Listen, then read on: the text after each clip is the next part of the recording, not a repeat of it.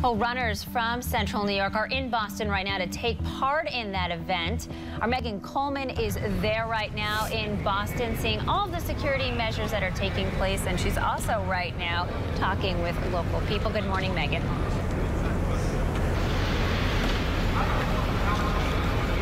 Lisa, good morning once again from Boston. Our live coverage continues here this morning. It is a beautiful, cool, crisp day here in Boston.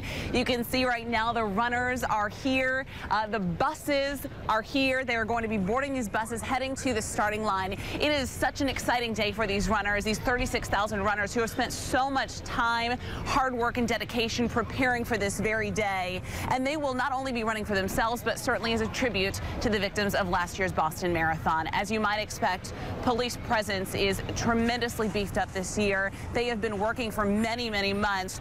Police and security officials working to develop this plan to keep the fans and the spectators safe.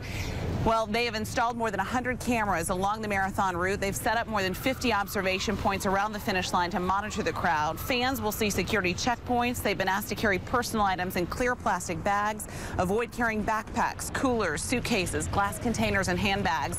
The runners are also seeing restrictions this year as well. No bags at the start or finish line of the race or along the marathon route.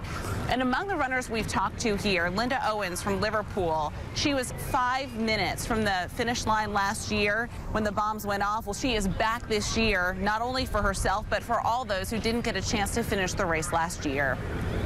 I'm wearing the 2013 jacket uh, because I feel I'm running that race tomorrow. When I finish the race, I will put my 2014 jacket on, and then I will be, I will have done what I set out to do.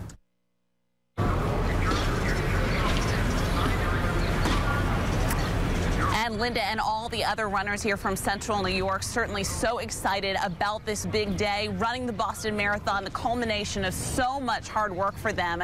They say that they never hesitated about running in this year's race. In fact, they say it pushed them even more to run for the victims as well. Our live coverage will continue here from Boston this morning. Also tonight at 5 and 6 o'clock, you can follow along.